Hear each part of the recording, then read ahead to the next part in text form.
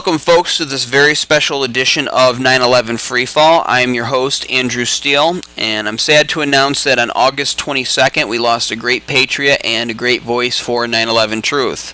Dr. Robert Bowman passed away after a long battle with cancer, and for those of you who aren't aware of this person or the impact he has had on the 9 11 Truth movement and on the anti war movement, let me tell you a little bit about who he was.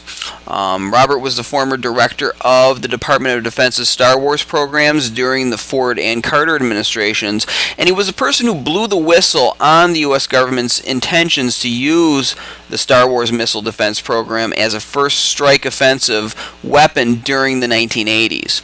Um, now, as noted in a write up by Phil Restino, who is one of the people we'll be hearing from later on in the show who'll be talking about Dr. Bowman, he not only gave up a comfortable livelihood working in private industry, but Dr. Bowman also put his very life at risk to numerous death threats over the years so as to help keep the world safe from the massive destruction capabilities of the U.S. government's Star Wars systems. Um, for the decades to follow, Robert Bowman has worked tirelessly and continuously for peace and justice. And Robert was a longtime member of Vietnam Veterans Against the War and Veterans for Peace. He served as the keynote speaker for four of that organization's annual national conventions, and he also received the Veterans for Peace uh, President's Medal and was the founder and national commander of an organization called the Patriots, which was made up of military and government service veterans throughout the United States. Uh, Robert Bowman worked hard to bring together veterans who identified themselves with the political left and, the, and those on the political right, and he was a big advocate of putting aside political ideologies in order to unite and fight against the unjust wars of the post 9 11 world. And I have an article up at 911freefall.com where he wrote about this. Uh, the article is called Left and Right Together, so you can click the link uh, up at the site and, and read it there. But that is a message that that resounds today, not just in, in fighting the wars, but in, in exposing the truth about 9 11 as well. Uh, soon after the attacks of 9 11, Dr. Robert Bowman publicly spoke out about them. Uh, as both an engineer with doctorate degrees in aeronautical and nuclear engineering and as a former USAF interceptor pilot, his expertise and credibility in regards to the impossibility of the U.S. government's theory, uh, trying to explain the complete destruction of Towers 1, 2, and 7, as well as the stand down of, of NORAD air defenses for more than 90 minutes while the U.S. was under attack on the morning of 9 11 can't be dismissed. Um, and Robert Bowman was out there pretty early in the movement as a public figure, telling the truth and questioning what he saw about the event.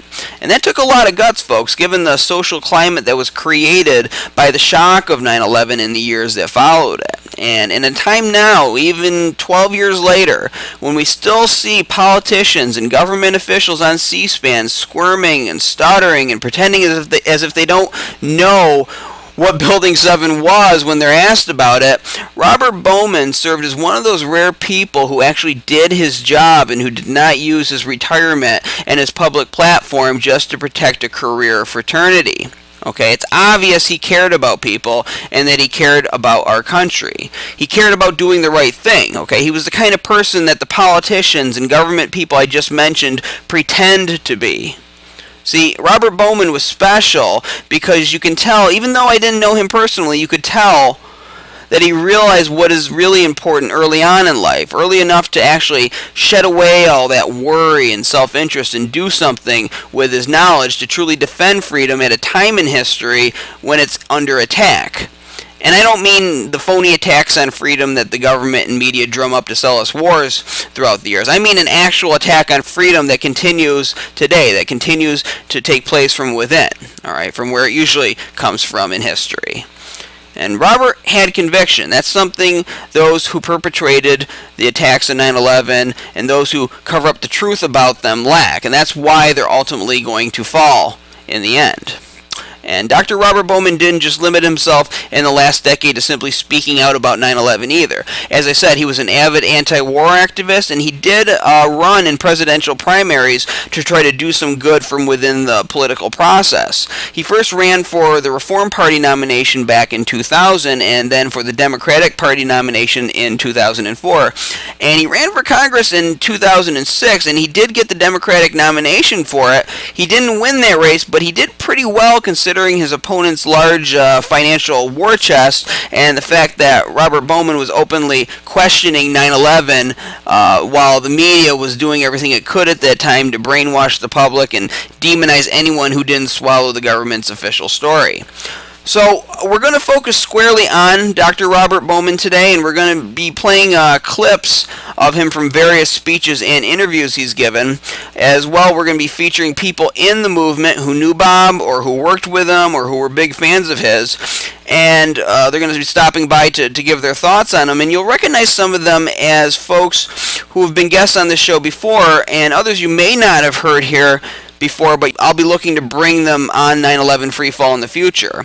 And I regret that I never had Robert Bowman on as a guest on this program. However, the show is not that old, and I guess he's been sick for quite a long time, so I don't think it could have happened anyway. But I think the spirits of people like Robert Bowman live on even after they die, and that's why we preserve their memory and their work so that people in the future can be inspired by who they were and what they did. So, hence why we're doing this program today.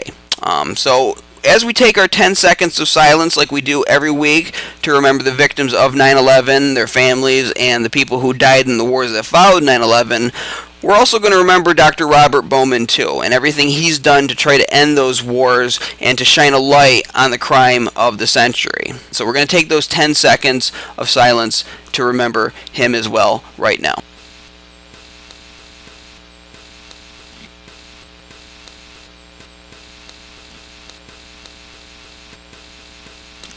And that's 10 seconds.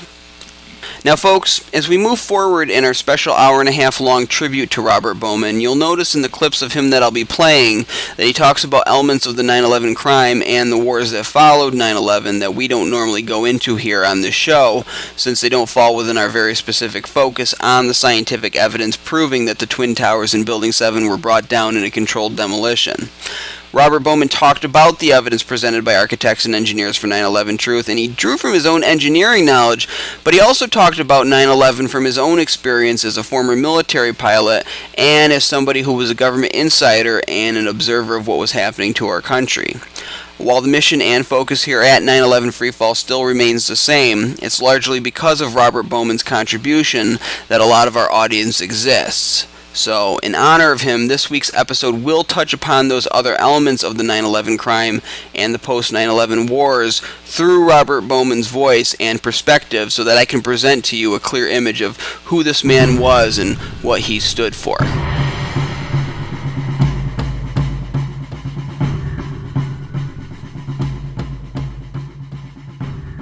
I'm Dr. Bob Bowman, Lieutenant Colonel, United States Air Force, retired.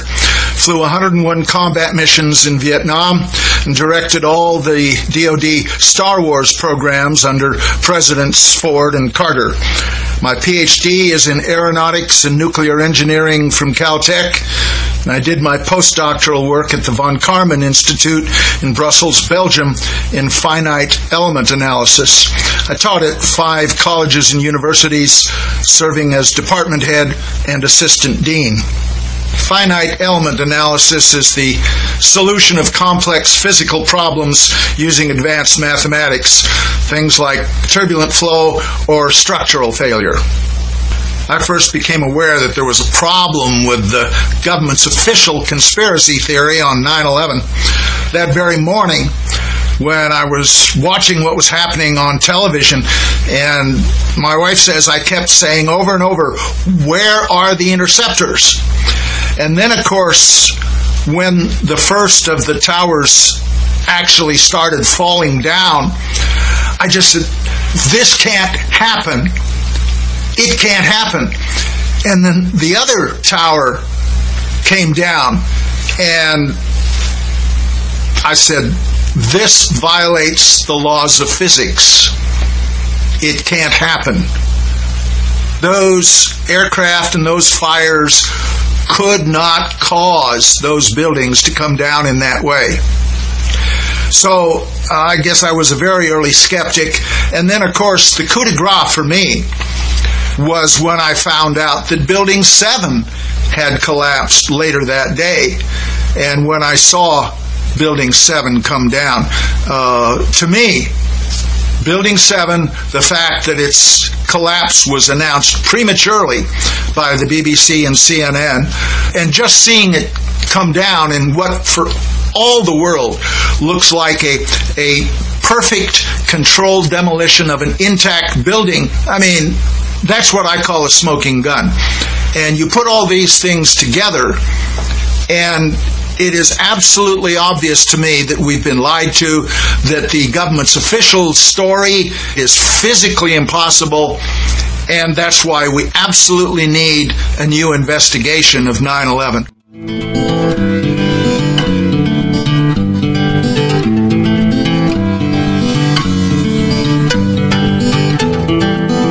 Hi, my name is Phil Restino and I'm the uh, coordinator for the Central Florida chapter of Veterans for Peace uh, here in Central Florida. Uh, the chapter of which uh, was Bob Bowman's home chapter. We're here today to uh, recognize uh, Bob Bowman and, and, give a little bit of our experiences with him. right now, I'd like to introduce Kathy Bracewell of the East Central Florida chapter of Code Pink and uh, uh, turn it over to her as as we've all worked together for, uh, since uh, uh, I guess 2005, late 2005. Uh, Kathy. Thank you, Phil. I'm Kathy Bracewell, and yes, that's correct. Started our local chapter of Code Pink of East Central Florida in late 2005, and it was shortly thereafter, in January of 2006, that we held a town hall meeting up in Ormond Beach, Florida. And by the way, our chapter cover, of Code Pink covers the greater Daytona Beach area, basically. Anyway, I was uh, our Code Pink chapter was instrumental in um, supporting Veterans Central Florida Vets for Peace with this town hall meeting, where Dr. Bob Bowman was going to be. Um, there, and he was going to be in a, a debate with our Congressman John Mica. uh, Congressman Mica did not show up, and so we just had an eight by ten picture of him up there at the podium. And of course, Bob Bo- Colonel Bob Bowman did show up, and that was my first meeting with him. He was the most articulate, inspiring speaker that I have heard in uh, many years regarding anti-war, peace, um, getting the people to unite against crimes against humanity. He was so all I can say is he inspired me very, very much. And he later became a rather close personal friend. Um, we saw him many times after that. Uh, we had little lunches with him. We met at different events. I was to hear him speak on many occasions. And of course, when I was available, I was working full time then, but when I was available to attend anything where he was speaking, I was going to go. Because, like I say, he inspired me on a personal level. I was a Vietnam protester, and I was once again protesting these wars of aggression in the in the present day. And Bob Bowman inspired me. We, we did take a, a a motorhome trip to Washington D.C. in 2007 I believe it was September of 2007. I took the trip. I was the only lady. I was with Phil, Dr. Bowman, and um, Dave Katz, all in his RV, and we went up to Washington D.C. and stayed with some wonderful people that were friends with Bob's, Sue and Phil Wheaton, and uh, it was just it was a it, it was a once in a lifetime trip, and I got to know Bob very very well he talked so much of his wife and his dog and his sons and daughters. He was truly a family man. He was a true patriot, and that was quite obvious. He loved his country. He had served his country, and he did not want to see this country go down the tubes. And and it was quite evident by the way he spoke. His speeches were were very interesting in that they were kind of uh, unique. He would use different ways of presenting material uh, that kind of piqued your curiosity and would keep anybody, as far as I was concerned, interested. And uh, I, I, I'm just going to miss Bob. I'm going to miss him so much. I do have my memories, thank goodness. I have multiple pictures. I've already made a collage, and I'm working on a scrapbook right now. But uh, I will definitely miss Dr. Bob Bowman. To me, he was a true patriot, and an inspiring person. Thank you so much. I'm going to pass it back off to Phil. Thank you. Thank you, Kathy. And yes, we sure were fortunate to be here in Florida where we got the chance to, to work with Bob quite a bit. Um, I'm proud to say he was a, a, a member of our Central Florida chapter of Veterans for Peace. And Bob is a he was a war veteran, a career Air Force guy, fighter pilot, served in Vietnam, saw the horrors of war, and uh, and later became a, a, a Vietnam veteran against the war, and uh, that was one of the earlier organizations of veterans speaking against these wars. And uh, later went on to join Veterans for Peace when that organization popped up in the mid '80s, and uh, was a celebrated member.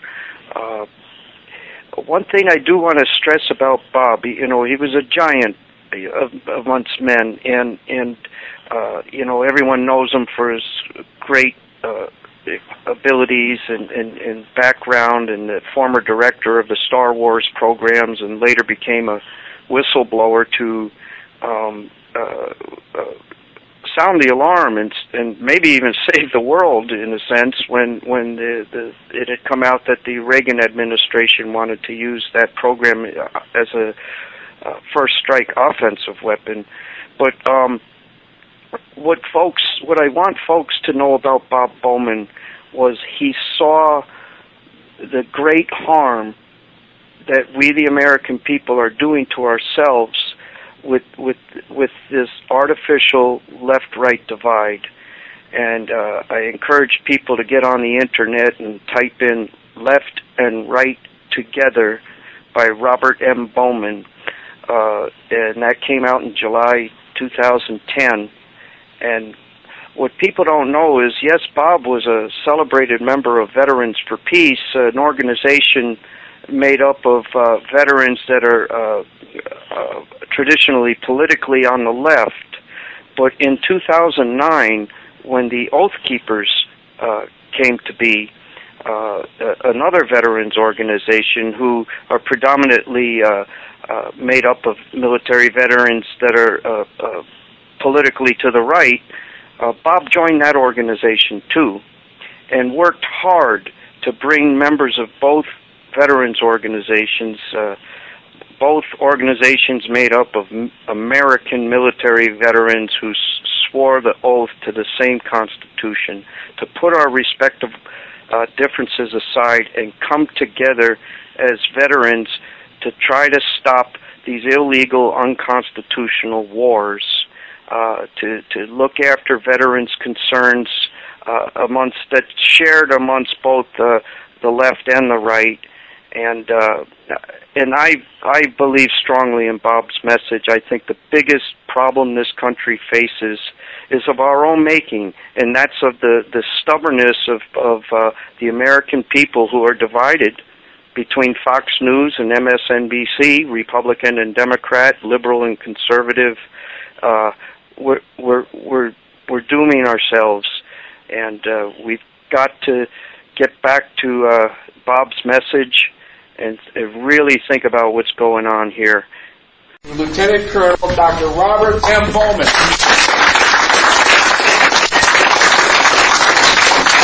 We're in a situation in this country where a lot of folks don't want to admit that they're liberal or they're conservative or both because both have been sort of given a bad name, particularly by the major media. People on the far left and the far right of the political spectrum have been alienated, marginalized, and ridiculed. But from my run for the presidency in year 2000, I covered the country and I talked to a lot of different folks, and I learned that there's a great commonality between folks on the far left and the far right. And since then, I have exploited that and have been trying to bring folks together in our common interest because many of my talks have been co sponsored by the Green Party and the Libertarian Party, for example.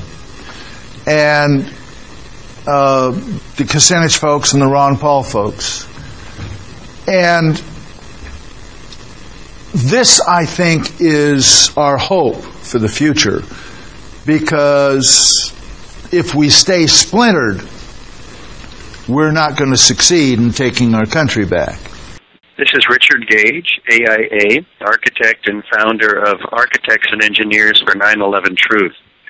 I have been personally moved by Dr. Bob Bowman, and I was so saddened to hear of his loss. Um, he and I have shared the platform on a number of occasions to deliver the truth about 9-11 to the American people. Of course, Bob extends well beyond the issues of 9-11 to encompass uh, all of the draconian measures that have happened after 9-11 and some of the problems, of course, that extend back to his uh, career, back to the 70s in the in the administrations and in the Pentagon and in his own uh, experience in Vietnam as a war hero. Uh, Bob gives an has he has given electric, um, motivating campaign speeches that have had me gripped to my seat like no one else, and I don't know how the world is going to replace him. I have I have no idea.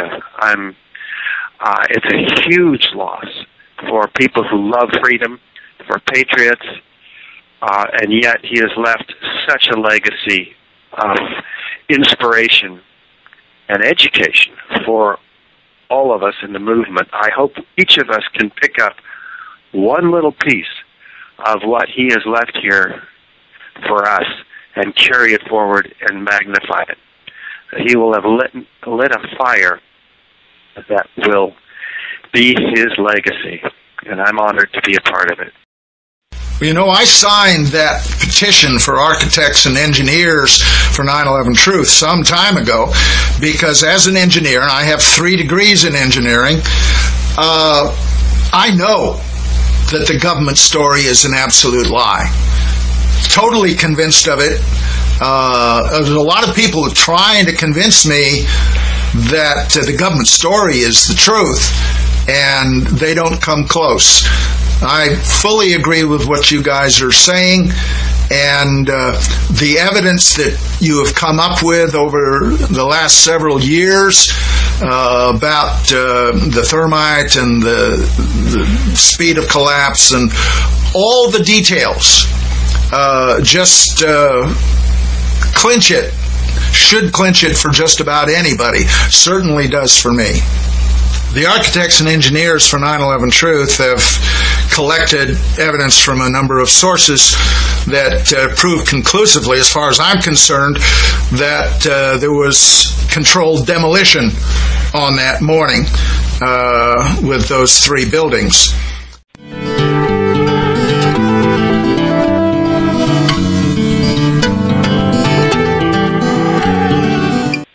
Yes, uh, my name is Lewis Wolf. I'm a 9/11 Truth activist here in Washington D.C.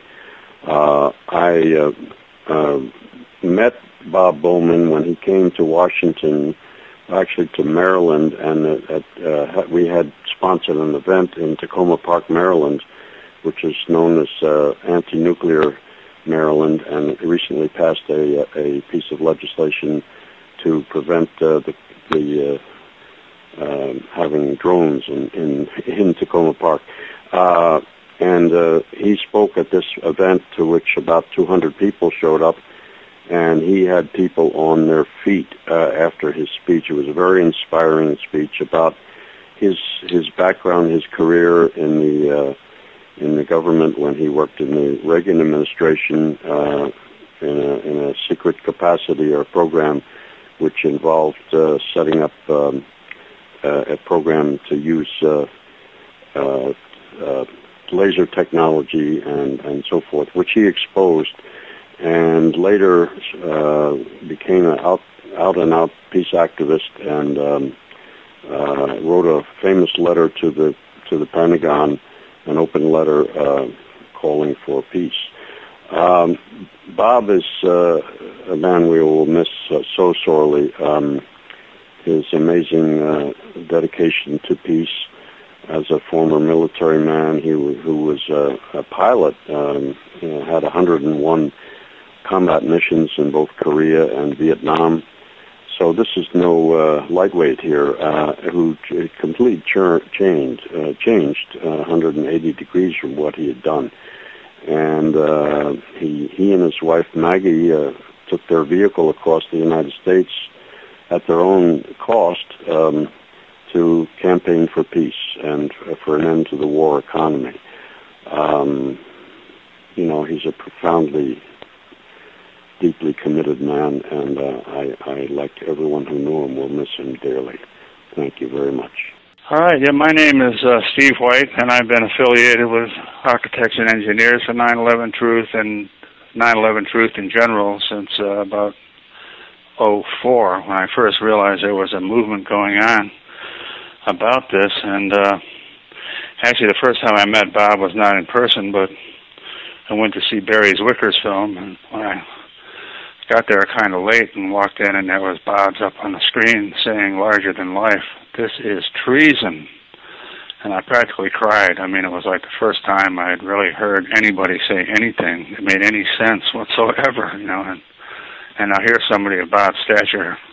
It really gave me an enormous amount of hope for the first time. And uh, anyway, so a few years later, uh, while we were involved in our petition uh, effort, having meetings at St. Mark's. We met Bob there, and a few of us went out to have lunch with him, and that was a memorable and wonderful, uplifting occasion. And I just thought Bob was the greatest hope we had in terms of getting a hold of this situation, and it's just very upsetting that he's gone. Uh, I've been very involved in just moving out of Ground Zero, where I lived for 40 years, obviously before it was ground zero. And now I'm far away from all that and, and looking for a house, and I just haven't been thinking of much else, you know. And, and I'm really thinking of Bob right now. That's all I can say. Really, it just knocked the knocked the wind out of me to hear this, and I just want to say something in uh, Bob's behalf and what a great force for good he was in the world, and how much he'll be missed. Hello, this is Les Jamieson. Uh, I live in New York City, in Brooklyn, and uh, I've been active in the 9/11 Truth Movement uh, from January 2004 through uh, pretty much the current present time here. Although the last couple of years have uh, been a little more scattered just for the uh, anniversary events. And I first heard Bob Bowman speak I believe is in the summer or the fall of 2005 at the uh, big conference held at the Manhattan Center in New York, uh, hosted by Jimmy Walter, produced by Jimmy Walter. It was called Confronting the Evidence. And Bob Bowman was one of the keynote speakers. And there he was up on this big stage. We had a big audience, hundreds and hundreds of people. It was filmed. And uh, he was a very impressive figure right then, uh, especially knowing his background, uh, being former military. And uh, he said some words that will be immortal here, which uh, he came right out and said the events of 9/11 were an act of treason. And from there, Bob Bowman was a uh, an ongoing figure in the 9/11 Truth movement. Uh, many conferences and uh, many appearances and uh, many uh, various symposiums throughout the years here. Uh, he came to New York several more times. Uh, the group that I was actively involved with hosted him for several events. One of them was a march throughout the city uh, where we went to several um, uh, major mainstream media outlets in New York, and we marched, oh gosh, at least a mile and a half through New York, and he was not well then, by the way, but uh, he made it anyway, and uh, uh, he was in great spirits, marching all up and down Manhattan to, uh, I think, first uh, the New York Times building, and from there up to NBC Studios, from then over to Fox Studios, and uh, and a few others, and uh, he was just in great spirits. Uh, then he came a few times when he was um, uh, running for office as a congressional candidate in Florida, but he had also put together a phenomenal speech uh, that was um, like a de- depiction of what he would say if he were actually running for president. And he was phenomenal because uh, you know he combined his knowledge of uh, the Constitution, his knowledge of finance, and the knowledge of the Federal Reserve uh, issues, and of course of uh, foreign policy and and law and order. And uh, you know, if he could have uh, even come close to being a, a national politician, uh, the, the national landscape of politics would be altogether different. That's for sure. Yes. Yeah, I'm from the uh, San Diego 9/11 Questions Meetup group. Um, can you give us a recap on your vision of uh, a new investigation into 9/11? Well, basically, new investigation will be completely independent of the White House. It will have oversight, probably by a few members of Congress, perhaps some former members like Senator Max Cleland, by people from the 9-11 Truth Movement, in, in particular Dr. David Ray Griffin, by Karen Breitweiser, Mindy Kleinberg, and the Jersey Girls, representing the families of victims, and by Sibel Edmonds and other whistleblowers in the FBI. They will investigate all the evidence, even that which seems to contradict the official conspiracy theory, and they will have no predetermined conclusions as to who the conspirators were, unlike the former commission. Can you uh, can you also speak to those who, who would say that uh, that uh, bringing up 9/11 and asking questions about 9/11 uh, is hurting the uh, the victims' family members? What do you say to that? Well, if if you see some of the videos about 9/11, uh, a good many of them Uh, featured family members, and if it wasn't for family members, there would have been no Kean Hamilton Zelikow Commission in the first place.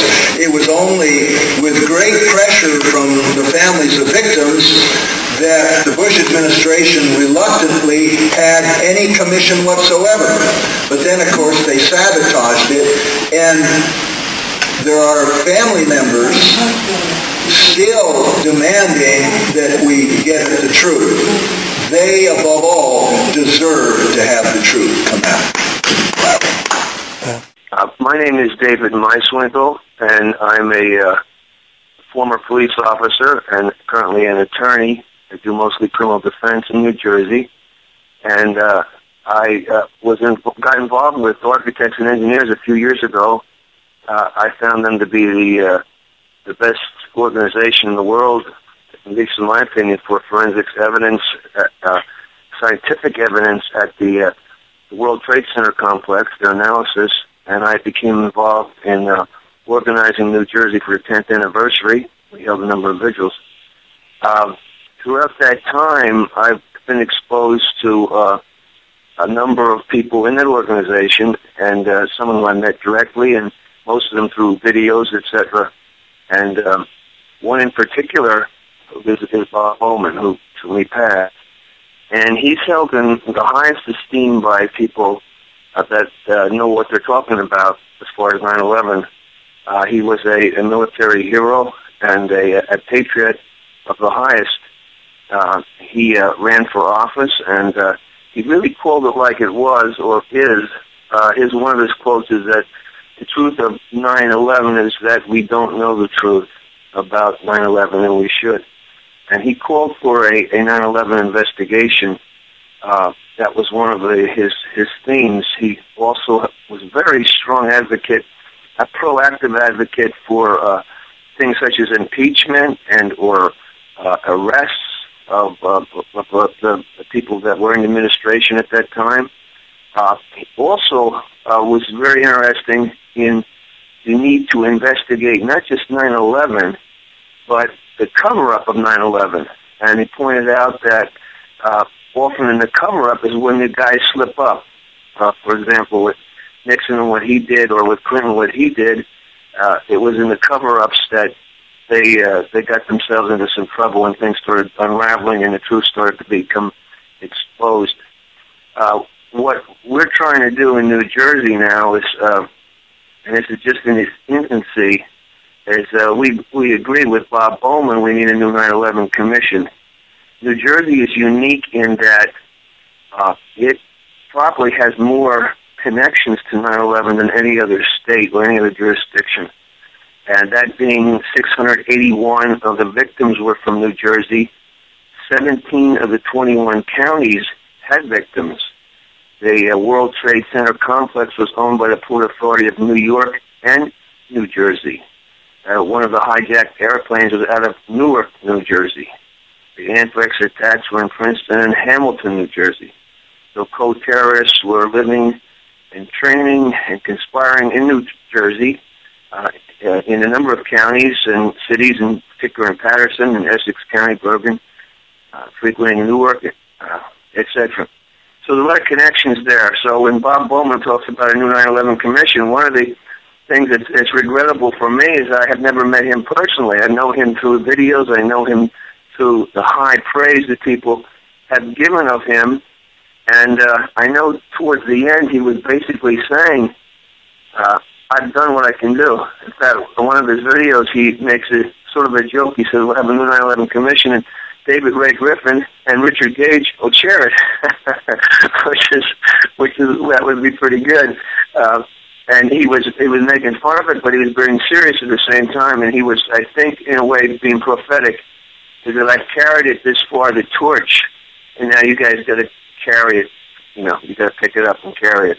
And that's really what it is is is people have to carry the torch, and, and I'm hoping that in New Jersey we can do that.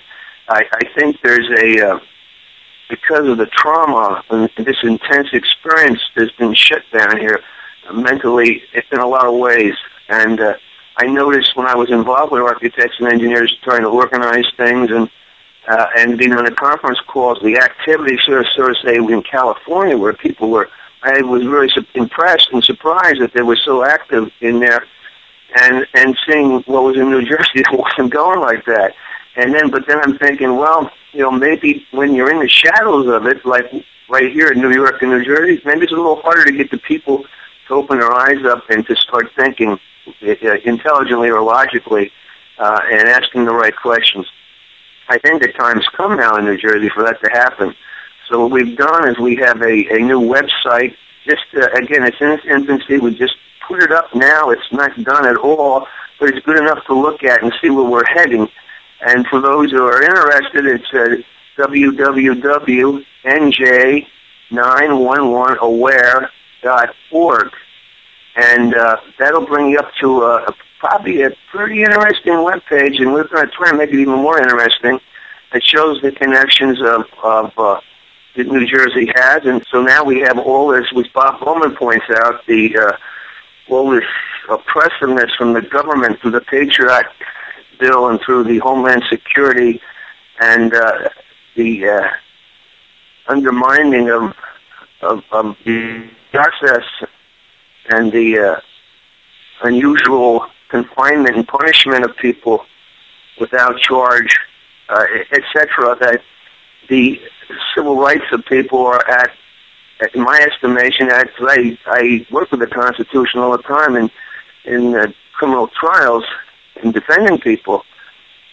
It's never been as this low, I don't think, in our, at least in our recent history, where it's so under attack. And a lot of people don't realize it yet. It's, it's all being set up to even get worse. And Bob Bowman realized that. Bob Bowman is a throwback to, I don't say old timers, but to people that were far more astute. There's a number of them. We, we list him in our heroes page. So if you go onto that website I mentioned, uh, New Jersey uh, 911aware.org, you'll see Bob Bowman listed number five. It's listed according to the alphabet, so it's just the B was the fifth letter. But uh, Bob Bowman is, as I said, he's he's revered, and he should be. He had so much courage, uh, and uh, and I have so much respect for him. And I said, my regret is that I didn't get to personally shake his hand, and but I, I, I have been influenced by him and his philosophy and his belief system and what he's talking about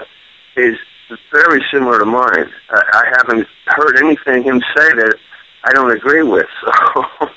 So, so pretty much, uh, you know, and it would have been, uh, as I said, it would have been quite an honor to have met him. But uh, in a way, I have spiritually met him in, in the fact that I acknowledge him and and and what he's done, and I hear what he's saying.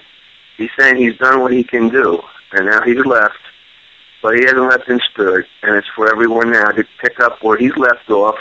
And, and and people are out there, but for the new people coming in too, and to carry his torch, because his, his that that flame that he lit, and has helped keep uh, lighted or lit, uh, is going to really glow into a, a, a giant flame someday, so that even those who don't want to look at the truth are not going to be able to help themselves. Be looking for them, and they're just going to expose it, and and eventually people will, will see through all the uh, the the coloring and the camouflage that's been put there. Dr. Bob Bowman.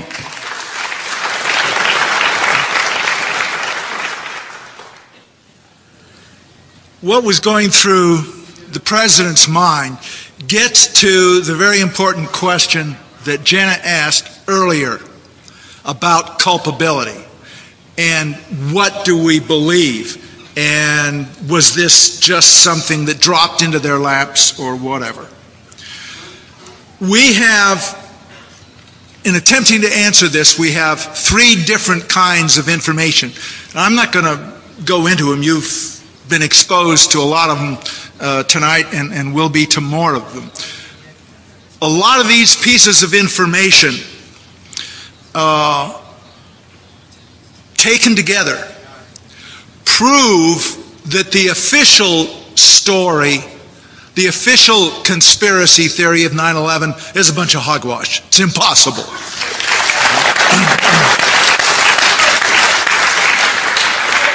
but they don't prove what really happened and who was responsible. But there's a second group of facts having to do with the cover up. And, you know, these are a whole bunch of things like the confiscation of the surveillance tapes uh, of the uh, impact on the Pentagon, the uh, confiscation of the air traffic control voice uh, tapes. Uh, it goes on and on and on. Taken together, these things prove that high levels of our government don't want us to know what happened and who is responsible.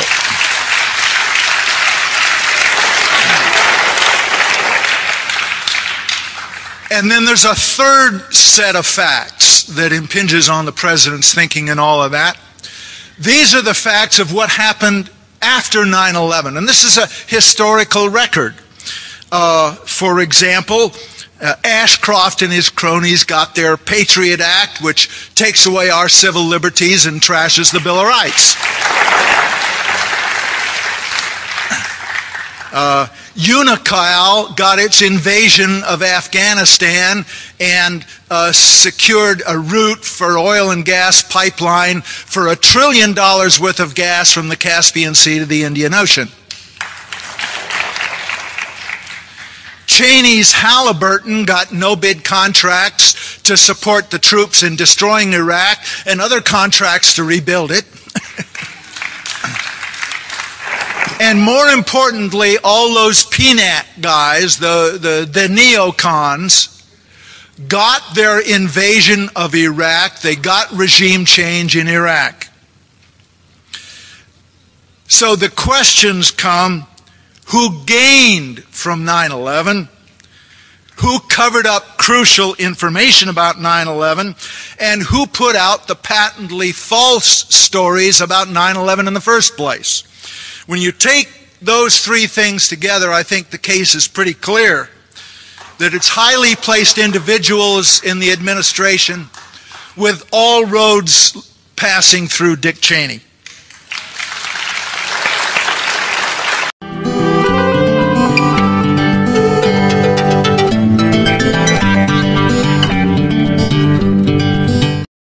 Yes, my name is uh, Chris Cirillo. I'm a former member and organizer of We Are Change Orlando, Florida, and former member of the Veterans for Peace.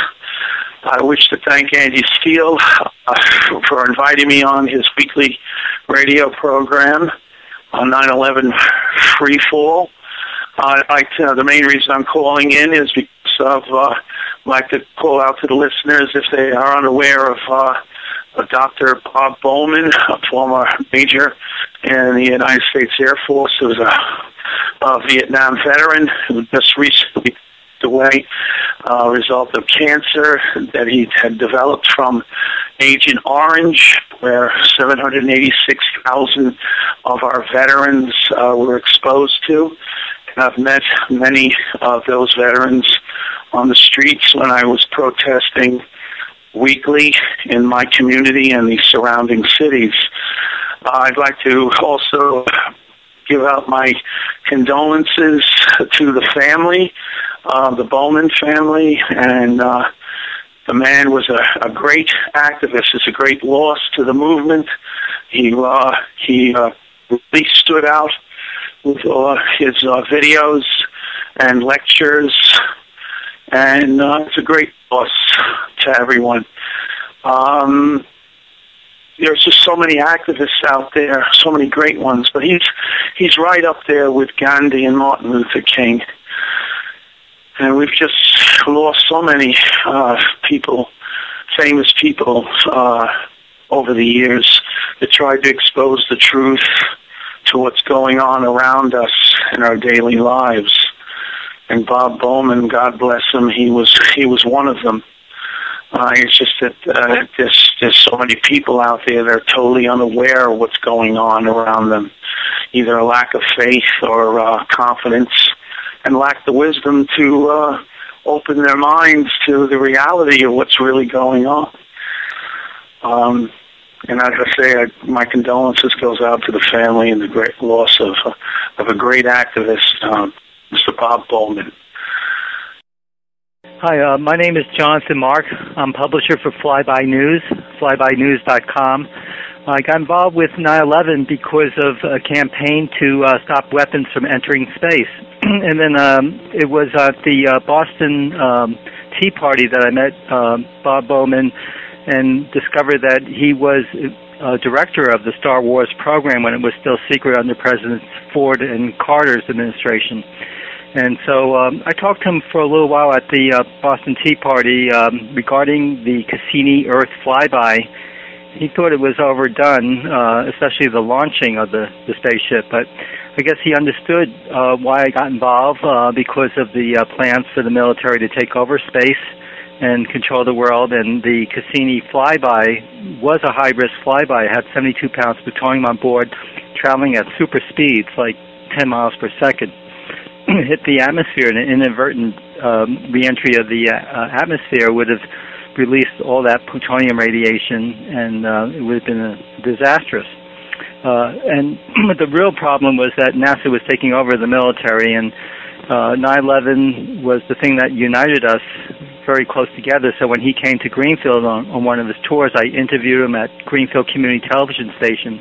This was in April 2010 and um, I was able to uh, insert his three-minute uh, video on the uh, W World Trade Center 7 building, and just understand uh, his background and his brilliance um, in coming forth with 9/11 as a courageous truth teller, and uh, and he first became a uh, whistleblower under President Reagan because the uh, his colleagues that worked with him under uh, uh, for Star Wars uh, asked him to because he was retired and he wouldn't have been put in jail for disclosing any secrets.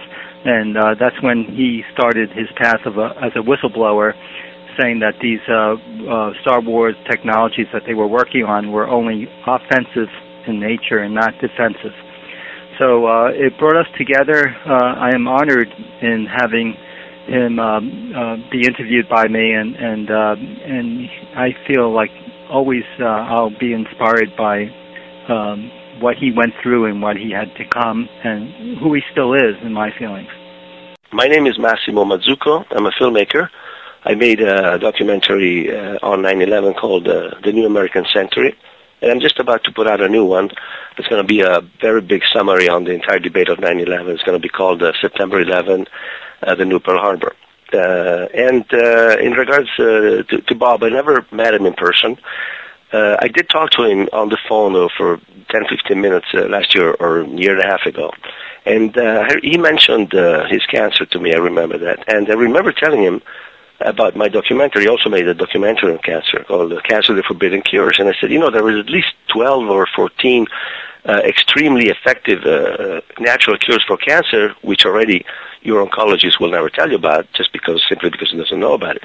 And uh, but you know, I wanted to send him, the, send him the DVD and for him to take a look. But I remember that he wasn't interested. Uh, not that he didn't believe me. He simply, I felt, I got this very, very uh, specific feeling that he knew exactly what he was doing, where he was at, where he was going, and that he didn't want to change any of that. Uh, I got that feeling of uh, of uh, destiny and accomplishment at the same time. I mean, it was very, very, very uh, straightforward, and not that he was bluffing or he was being, you know, pretending to be courageous when he was not. He was just exactly the person that I always felt he was when I when I saw his clips all over the place. Uh, very straightforward and very and uh, very honest and with himself first of all and uh, I think that's really the only way you could expect him to be after all. I mean, this guy is, you know, always uh, never had fear to speak up with anybody. I mean, if, if the generals in Washington had one-tenth uh, of the courage and the sense of honor and duty that this man had, uh, 9/11 would have probably been exposed much before. Probably would never would have never even happened anyway. Anyway, we'll continue the fight that he has started, and uh, one thing that's interesting, though, in, this new, in the new documentary I have, uh, the actual first line of the film is spoken by Bob Bowman. Uh, actually, I pulled the clip for you, and I'm going to play for you very briefly. It's very short. This is the very first line uh, uh, presenting the debate of 9/11 to, to, to the audience. I remember thinking, where on earth are the interceptors? I'm an old interceptor pilot, and it's absolutely unbelievable that hijacked airliners could fly around for an hour and 40 minutes without being intercepted. This is it. I am sorry I never met this person, but I feel like I I did know him from those very moments I had uh, the privilege to talk to him. Thanks very much. The battle to preserve our freedoms is not taking place in Baghdad and Tikrit and Fallujah. It's taking place in peace marches and demonstrations in Ghirardelli Park in San Francisco, in Memorial Park in Oklahoma City, and in Lafayette Park in Washington, D.C. The front lines are right here. You are preserving our cherished freedoms by exercising them in spite of ridicule and opposition. The battle to preserve our freedoms is you. You are the foot soldiers protecting our civil rights. You're the Minutemen sounding the alarm against tyranny. You are upholding the spirit of the American Revolution. You are preserving the freedoms that the troops in the desert have a right to come back to. The troops getting shot at in Iraq are not protecting us. We are protecting them and their honor and their freedoms. We, my sisters and brothers, are protecting this nation by speaking truth to power. We're speaking truth to a pack of liars. We must do it loudly and fearlessly and courageously and joyfully, for we are the patriots. And when we speak, this is the truth that we proclaim. This war in Iraq has nothing to do with national security or freedom or democracy or human rights or protecting our allies or weapons of mass destruction or defeating terrorism or disarming Iraq. It has to do with money, it has to do with oil, and it has to do with raw imperial power. This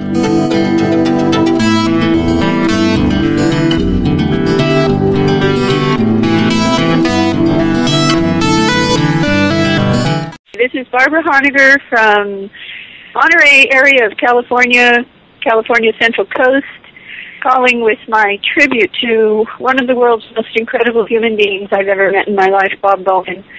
I just want everybody to know that of all the people I have ever met in my life, the individual with the most inherent authority and status as well as publicly recognized authority and status is Bob Bowman.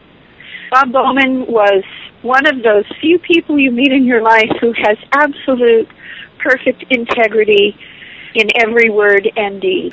Uh, I my heart goes out to Maggie and Bob's many children and grandchildren. We all love him. We know that he is fine and that he will be working even harder to save uh, our country from the horrendous administration the past two administrations that have been trying to take us down a very dark path. He's now in a place where he can help us even more. So God bless you, Bob, and Godspeed. So just a few things I'd like your listeners to know, uh, Andy, and that is that I'm uh, uh, on the organizing committee for the big 9/11 Truth Conference that is coming up in Washington D.C. It will be held uh, at the Pentagon Sheraton, overlooking the west face of the Pentagon, on September 14th and 15th, Saturday, Sunday, September 14th and 15th.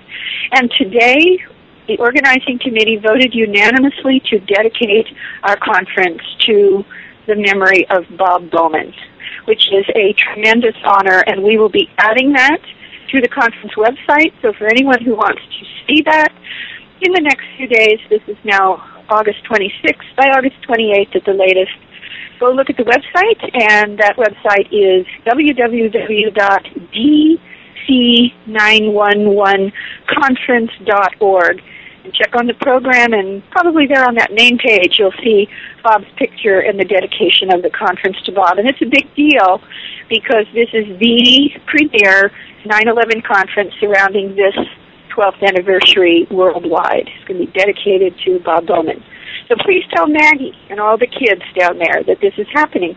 And I'd also like to announce that Mike Figa, who has been one of the co-organizers of the big Rethink 9/11 campaign, that is gearing up for this 12th anniversary in New York City and across the country and the world with this big advertising campaign, that Mike Figa and I and Phil Restino, who is with Veterans for Peace in the Central Florida uh, group, uh, chapter of Veterans for Peace, it was Bob Bowman's uh, chapter down there.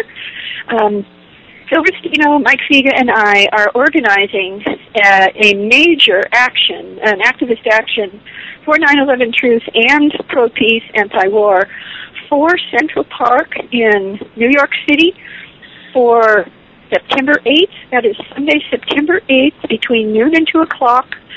Anybody who can be in Central Park, contact Mike Figa.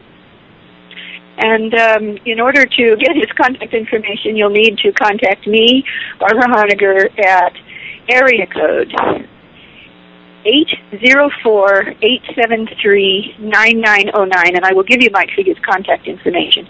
This is a very exciting action that we are also dedicating to Bob Bowman, and it, what we're going to do is we are going to iconically represent with activists wearing white versus black t-shirts we are going to iconically represent and take videos and still photographs and get them on the web before the 12th anniversary to reframe the whole discussion in the media of what 9-11 means.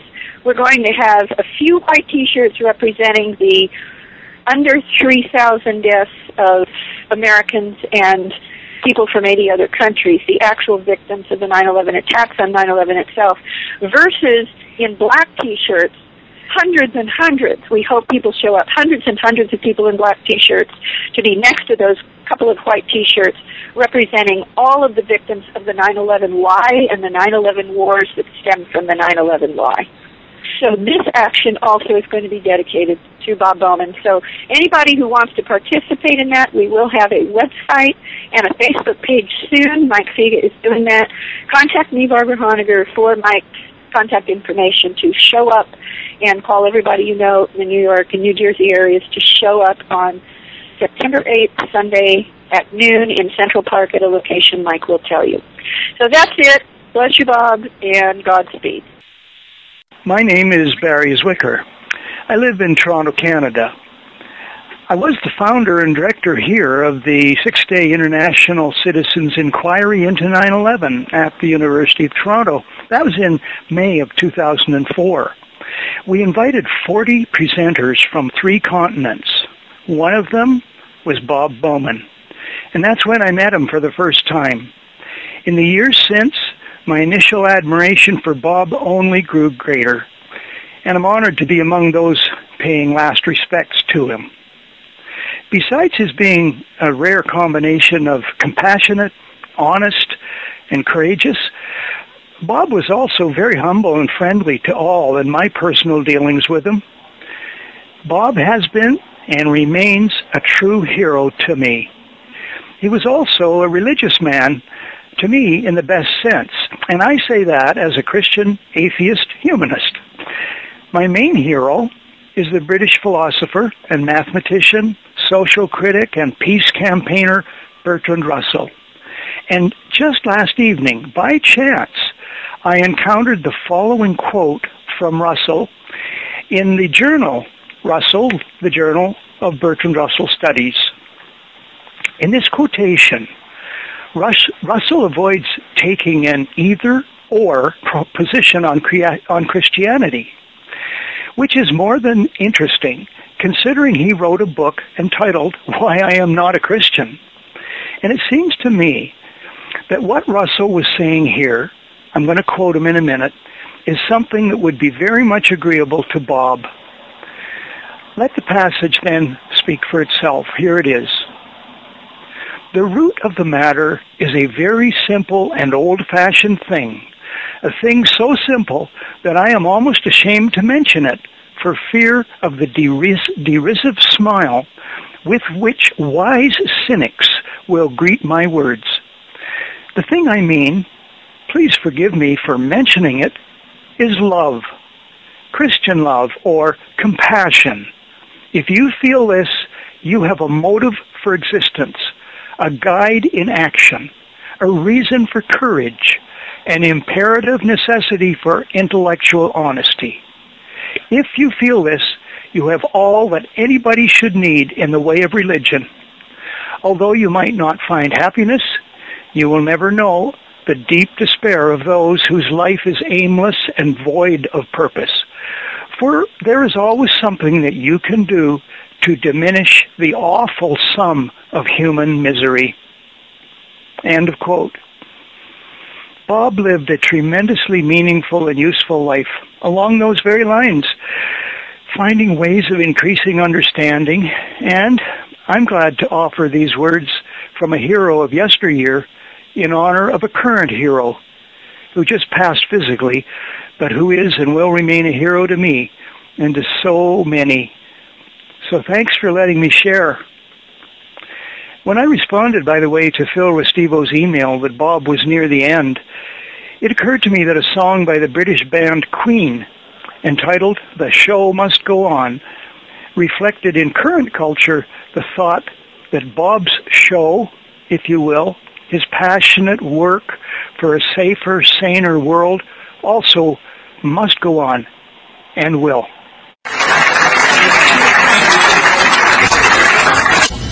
They tell me it, you don't have to be a rocket scientist to run the government. Nevertheless, I am one. and although I'm running for Congress from the 15th District of Florida against an incumbent Republican, which I will not name, When I get there in Washington, I'm going to be your congressman.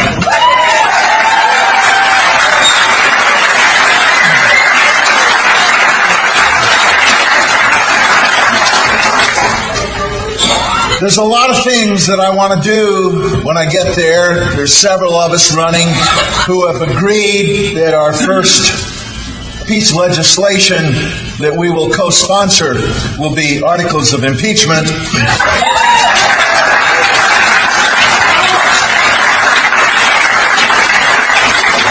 Right up at the top of my list of things to do in Washington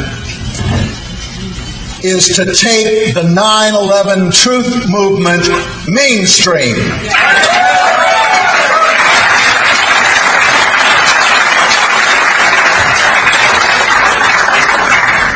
It's time this movement moved out of rented hotels and into the halls of Congress.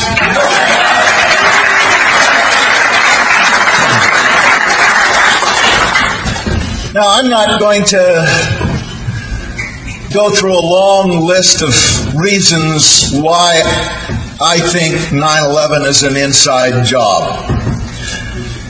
If you guys here don't think that by now, too bad.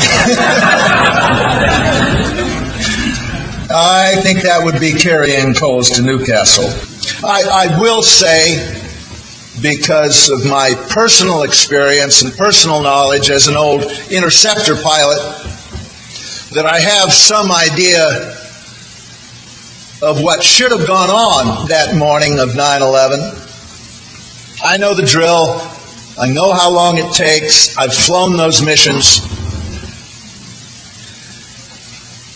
And I don't blame the interceptor pilots that morning. I have looked at the timelines, and I think they did their best under the circumstances. They would have intercepted whatever it was hit those buildings if they had been notified on time.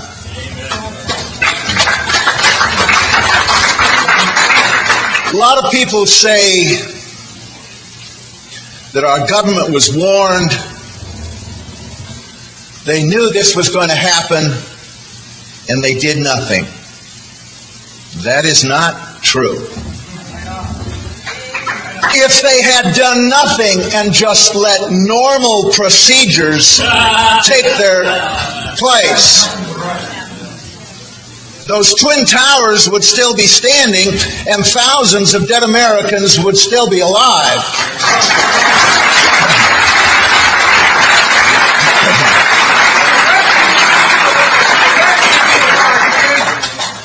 Now, sometimes when backed into a corner, they try and say, well, it was just incompetence. You know, somebody screwed up. Yeah, they should have notified uh, and scrambled those aircraft as soon as these things went off course, as soon as they lost radio communication, as soon as the uh, uh, IFF transponder failed, uh, any of those three things should have triggered an immediate call for intercept. Any one of those three things. They all happened, and time went by and time went by. And those things flew around up there for about an hour and a half. If they had just twiddled their thumbs for 20 minutes and scrambled those jets, they could have intercepted whatever hit the Trade Center before it happened. Now, if this is incompetence, why hasn't anybody been fired, demoted, court martialed?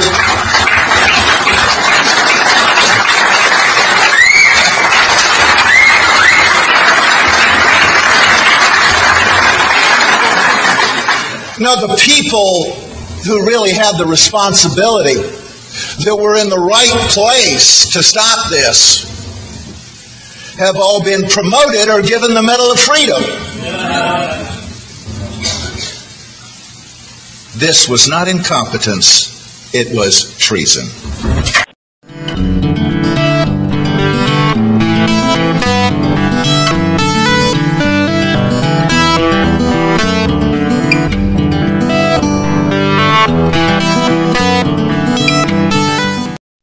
I'm Pamela Senzee. I'm a peace and social justice activist and have been for about eight or nine years. And uh, I've also been involved during throughout that time with the 9/11 Truth Movement. So I I work for um, the Rethink 9/11 campaign now as campaign coordinator. And Rethink 9/11 uh, is being sponsored by AE 9/11 Truth, uh, an organization which last year I went across the country on a bicycle for um, with fellow activist Rena Patty. And during that trek, um, we spoke to police chiefs, fire chiefs, academics, students, and anybody that we could talk to. And we gave them uh, a DVD called 9-11 Explosive Evidence, Experts Speak Out. And this DVD is so important. It is so vital to the future of our country and of mankind itself that Rena and I felt that, you know, we were willing in order to promote this film, we were willing to leave our, our home, our families, jobs, everything, and go across the country on this bike tour. And Dr. Bowman is in that film. I met him. I met him back in 2007. I met him a couple of times uh, that year. He came to our accountability conference uh, for 9/11 in Arizona, where I'm from. And then he also came to Arizona and spoke uh, during a tour for his uh, run for president and he and his wife toured the country in an RV. Wonderful people, uh, very sweet, very endearing, uh, very approachable, and we spoke at length afterward. And I remember standing in the parking lot, all of us, several of us, and um, Dr. Bowman and his wife, and um, he just impressed me as a, a, a man of big heart as well as great stature. And I was particularly impressed that this preeminent insider, this man who had accomplished so much in his life, who was so well educated and and had um, risen to a, a, role of leadership um, in in the Department of Defense would go and do this presidential tour, which big big part of the reason that he did it was to promote the need for a new investigation and to question 9/11. And uh, that takes a lot of courage, and certainly uh, it, it, we all knew in those days uh, how risky something like that could be. And those were the days when, when all of the torture stories were coming out and the wars were full throttle and, um, you, you know, it was, it was really scary times. And here he was, you know, just right there with the people, uh, going across the country in his RV and speaking to all of us and taking time with each of us. And that's what I would put forth across the country on this trek um, I would always refer to Bob Bowman first, always. I did it all across the country. He was my number one guy, and I'd be talking to a police chief, or I'd be talking to a fire chief, or just uh, just a student at a university, and I'd be telling them about this film, and I, I'd say, there are. This is why we're going across the United States on bicycles because thousands of experts are challenging the official story based on hard science and forensic evidence. They're not conspiracy theorists.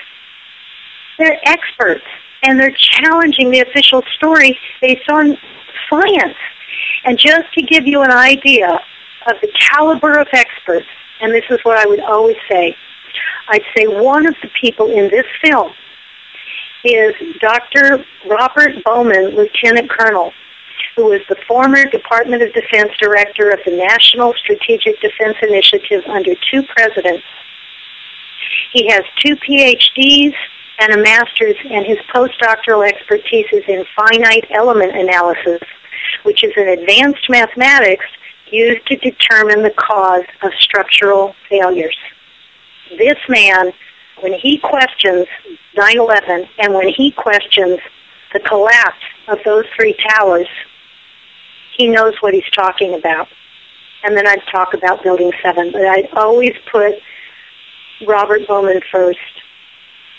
And I have, I, I was uh, very saddened, you know, to hear of his illness and sent out a lot of prayers, a lot of a lot of light and love, and you know,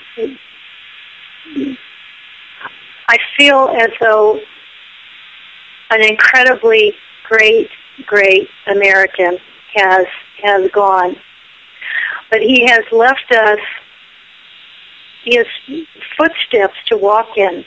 He has left us a path to walk because um, of his incredible courage. You know, a lot of a lot of people on the inside, like him, the reason we're in this mess that we're in, the reason we've had our liberties taken away, the reason that so many people have been killed in the name of 9/11, and so many draconian measures have been implemented in this country and worldwide is because people who are insiders, people who are in pivotal positions and know the same things that Dr. Bowman knew, have chosen not to take risk. They've chosen not to risk their position. They've chosen not to risk themselves. They've chosen to keep their position. They've chosen to look out for themselves. And that's why we're in this mess. Because a lot of people know and they won't step out like he did. This, the preeminent insider who courageously and tirelessly spoke out and used his used his position, used his expertise, used his incredible education and accomplishment as a means of providing credibility and contributing that, that knowledge and credibility to this movement. And so I really honor people like him, and I honor all, all of these experts. And, you know, if, if we can just take a little bit of what he gave us and follow in his footsteps and take our little our little bit and sum up our bit of courage and come forth.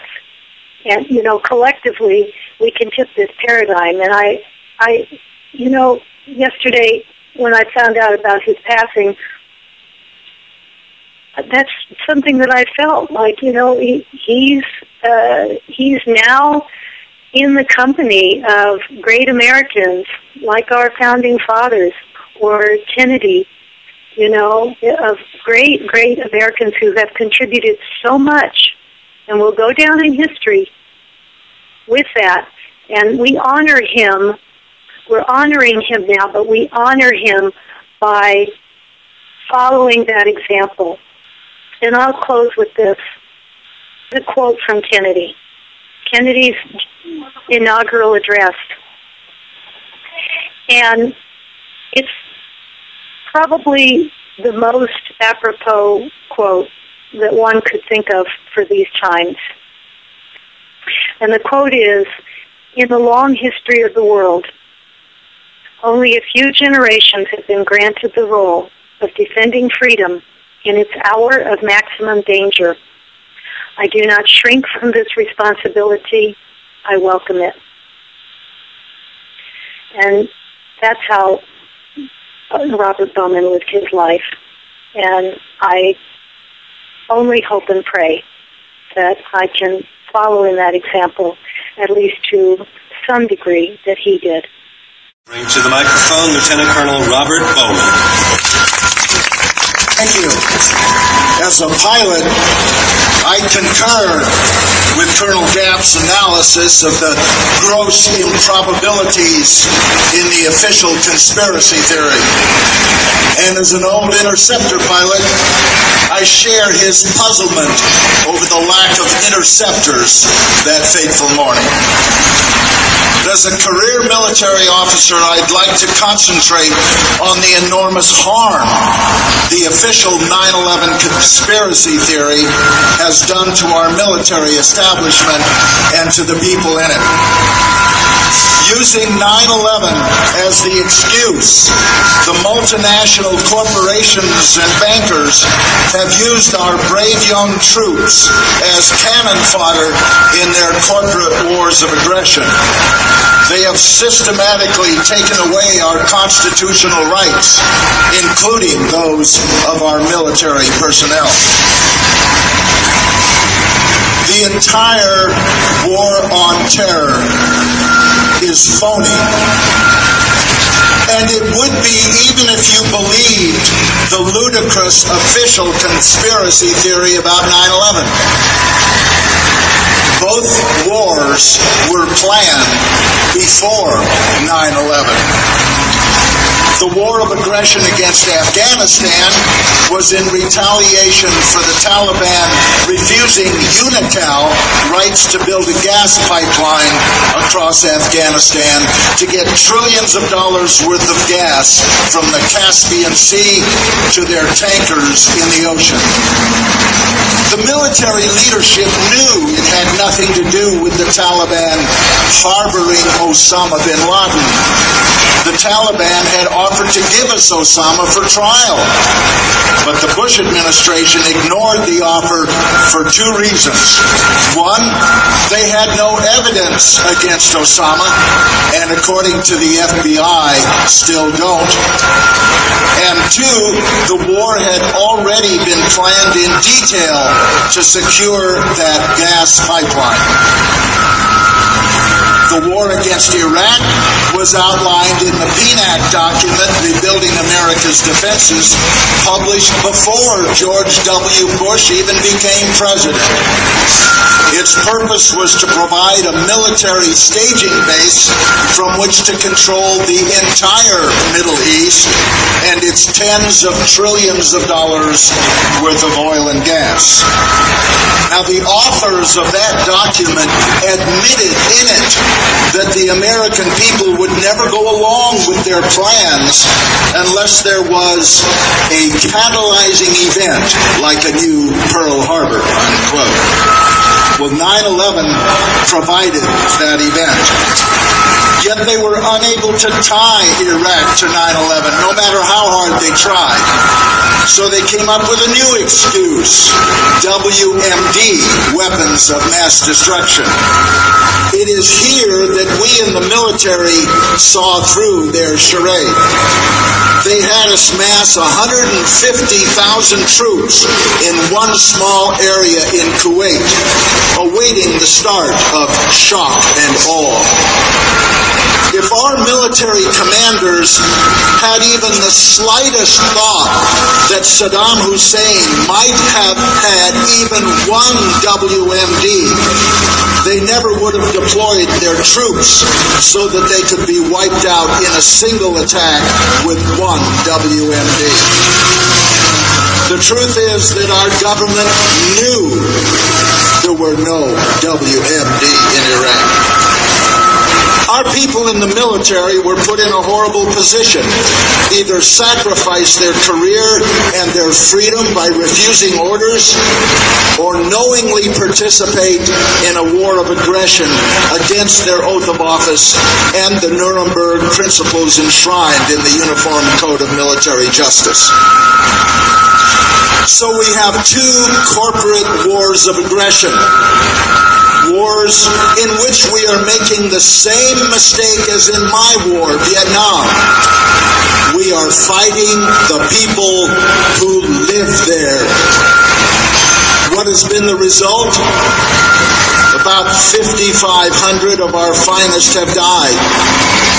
The lives of 40,000 of our injured soldiers will never be the same.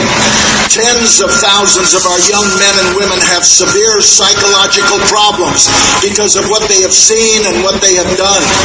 Hundreds of thousands have been poisoned by depleted uranium and will suffer lives of pain and disability and will father thousands of children with severe birth defects. Our military services are depleted and demoralized. The VA system is underfunded and overwhelmed. The National Guard and Reserves have been subjected to tour after tour, disrupting lives for even the lucky ones who return unscathed. Jobs have been lost, homes have been foreclosed, marriages have been destroyed, children have been estranged, and for what? We have alienated our friends around the world and made new enemies. We have created thousands of new recruits for Osama bin Laden, whether he's alive or dead. And we have further endangered the American people, and all because of 9 11. You know, there's massive evidence of a cover up with respect to 9 11 itself. I've spoken with both Governor Kean and Congressman Hamilton, the co chairs of the commission, and they both say that there are outright falsehoods in the final report. Never mind all the omissions. The report over which they had no control. It was written in the Bush White House by Philip Zelikow. Now, when you combine this with the confiscation of videotapes, audio tapes, black boxes, and other evidence by the FBI, it is clear that regardless of who was responsible for 9 11, the subsequent cover up was itself a conspiracy involving elements of the Bush White House and the intelligence establishment to prevent further 9-11s, we must get to the truth about all those involved in the last one. If I had the opportunity to, to say something to Dr. Bowman and he were here uh, in front of me right now, I'd say to him, Thank you, sir, for your work and what you did throughout your life, even before 9 11, and helping to keep this country alive a little longer. Your work breathes in the voices of everyone who has picked up the torch and carried on this cause. And rest assured, we will have justice and true peace. And the real spirit of America, the one that you stood for, is rising. And if nothing else, know that you saved lives by speaking out and standing up for us. Anyone who wants to check out Robert Bowman's work and make a donation can do so by going to the Patriots webpage at thepatriots.us. Again, that's thepatriots.us, and I'll have it linked up at 911freefall.com along with the archive of the show for easy access to the listeners. Thanks for listening to 9/11 Freefall special hour and a half long tribute to Dr. Robert Bowman. Remember, folks, you can listen to this program every Thursday night at 10 o'clock Eastern, 7 o'clock Pacific on No Lies Radio. This is Andy Steele saying have a great week and good luck.